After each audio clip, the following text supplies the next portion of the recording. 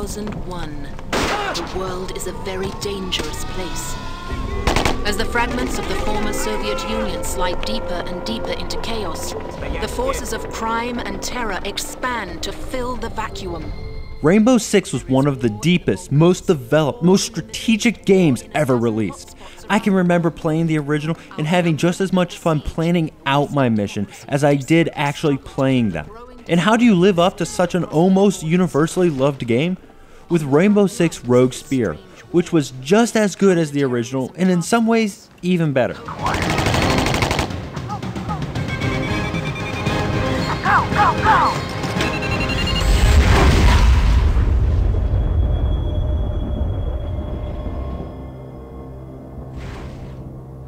Rainbow Six has always offered very plausible and realistic storylines. The Russian mafia has gotten their hands on some high class, grade A plutonium and are selling it to an international arms dealer who plans to turn it into nuclear weapons and sell them off to the highest bidder.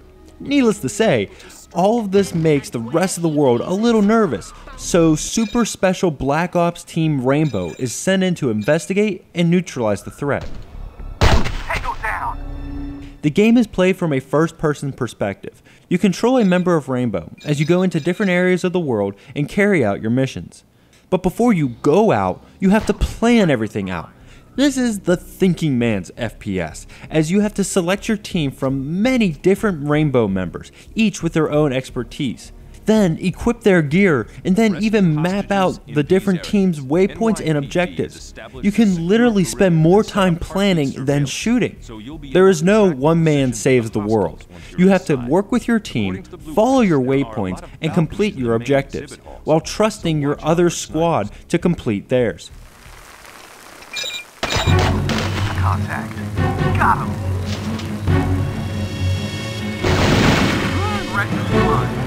It may seem like a lot of effort just for a single mission, but nothing feels better than seeing a perfectly planned mission executed without a flaw. The game packs in all the Rainbow Six action, but only now played with a controller. Everything you could want about Rainbow Six is here, but the game has stumbled a little with the transition. For one, the characters and environments are much less polished and don't look nearly as good. Also, for a game that requires split second timing, the controls just can't deliver. It feels like the game is still trying to be played on the PC, and the analog sticks just don't offer the precision needed, and you will die often because the enemies are just too quick. But if you have never played this on the PC, or don't own a PC, this is still a great way to get your rainbow fix.